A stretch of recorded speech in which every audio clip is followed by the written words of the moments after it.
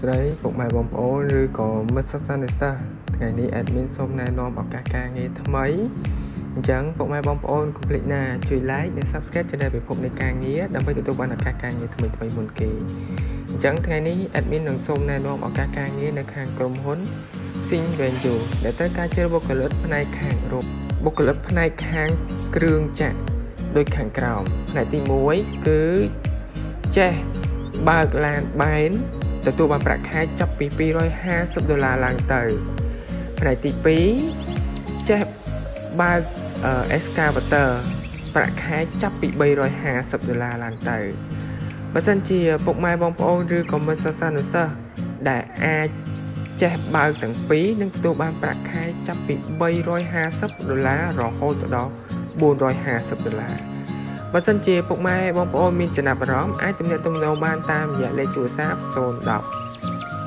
71 61 71ឬក៏លេខមួយខ្សែទៀត061 71 61 76ឬក៏លេខមួយខ្សែទៀត071 9 71 61 71គណៈពេលនេះ admin សូមអរគុណសូមគោរពលា